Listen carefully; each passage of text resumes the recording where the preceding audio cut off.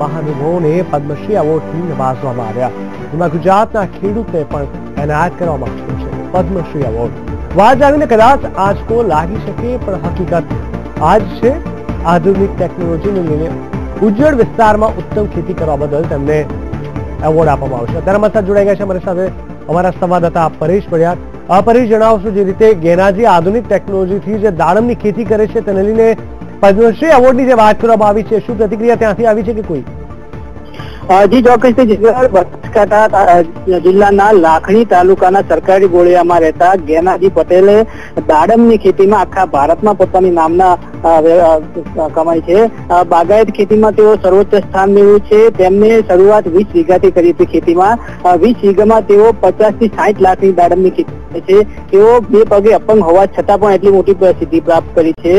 તેઓએ તેમની સાથે સાથે આખા ગામમાં પણ દાડમની ખેતી કરીને હાલ આખા ગામમાં દાડમની ખેતી થાય છે અને ખેડૂતો એકદમ સદ્ધર થઈ ગયા છે ખેતી કરવાથી, દાડમની ખેતી કરવાથી. હાલ એ આજથી બે હજાર ત્રણ ચાર પહેલા આ જગ્યાએ કશું જ પાક નતું થતું, ત્યારે ગેનાજીએ પોતાનો દાડમનો છોડ પોતાના ખેતરમાં વાવી અને હાલ ગામને દાડમની ખેતી કરવા પ્રેરણા આપી છે. જી.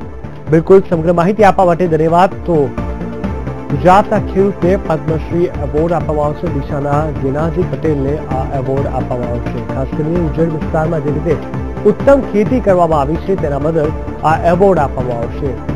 ગુજરાતના ખેડૂતને પદ્મશ્રી એવોર્ડથી કહી શકાય કે ખેડૂતોમાં પણ એક પ્રોત્સાહન મળશે તેવી પૂરેપૂરી અહીંયા શક્યતા છે. તે લોકોમાં પણ એક આગવો ઉત્સાહ પોતાના કાર્યને લઈને, કારણ કે ભારત દેશ કૃષિ પ્રધાન દેશ છે અને આ દેશમાં ખેડૂતોનું એક આગવું મહત્વ રહેલું છે. સિત્તેર વસ્તી ખેતી પર નિર્ભર હોય છે એવામાં ગેનાજી પટેલને પોતાની સિદ્ધિ બદલ જો આ એવોર્ડ આપવામાં આવશે, તેનાથી ખેડૂતોમાં પણ એક આગવા પ્રકારનું મોટિવેશન મળે તેવી પૂરેપૂરી શક્યતા છે. ગુજરાતના ખેડૂતને પદ્મશ્રી એવોર્ડથી નવાજવામાં આવશે ગેનાજીનું ખાસ કરીને એક એવું છે કે તેઓ ખૂબ જ ખુશ જોવા મળી રહ્યા છે. દિલ્હીમાં આજે અનેક મહાનુભાવોને પદ્મશ્રી એવોર્ડથી નવાજવામાં આવ્યા, જેમાં ગુજરાતના ખેડૂતને પણ પદ્મશ્રી એવોર્ડ એનાયત કરવામાં આવ્યો છે. વાત જાણીને કદાચ આપને આંચકો લાગી શકે છે, પરંતુ આ વાત બિલકુલ હકીકત છે. સરકાર દ્વારા ગિનાજી પટેલને પદ્મશ્રી એવોર્ડ આપવામાં આવ્યો છે.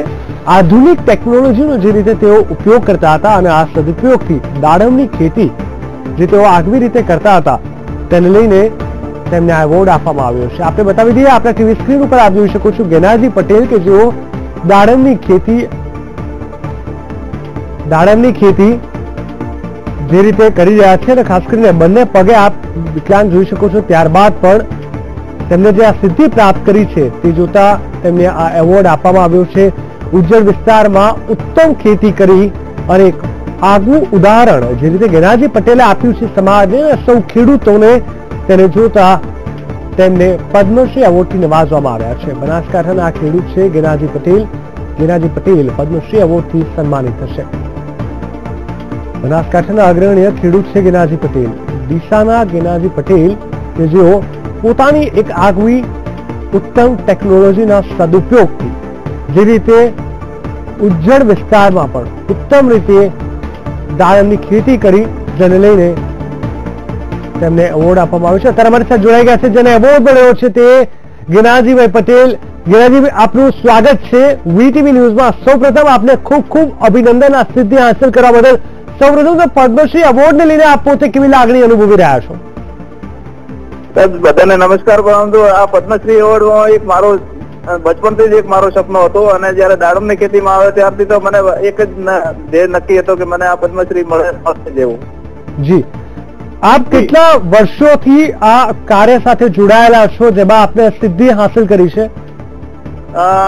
હું બે હજાર- ત્રણ ચારથી આ દાડમની ખેતી સાથે જોડાયેલો છું, સાહેબ. જી. ગિરાજભાઈ જે રીતે આપે આપનું એક ઉદાહરણ આપ્યું છે, આપ જે રીતે મહેનત કરીને આ સિદ્ધિ હાંસલ કરી છે. સૌથી, કહી શકાય કે પડકારજનક દિવસો આપને ખેતી દરમિયાન કયા લાગ્યા હતા? અલગ અલગ સિઝન હોય છે અલગ અલગ પરિસ્થિતિ ખેડૂતોની આપણે જોઈ છે. કયા પડકારજનક સમય હતો કે દિવસો હતા કે ઋતુ હતી કે જેમાં આપે આ સિદ્ધિ હાંસલ કરી? શરૂઆતમાં જયારે અમે અહીંયા શરૂઆત કરી દાડમની અમારા વિસ્તારમાં અહીંયા સત્યનારાયણ ભગવાનની કથામાં જ દાડમના અમે દર્શન કરેલા હતા અને એવા એવા ટાઈમે અમે આ દાડમની ખેતી કરી હતી ને અહીંયા મોભે ચડાવવા પડે એવી સ્થિતિ હતી. એ વખતે અમે આ દાડમની ખેતીની શરૂઆત કરી હતી સાહેબ. બિલકુલ.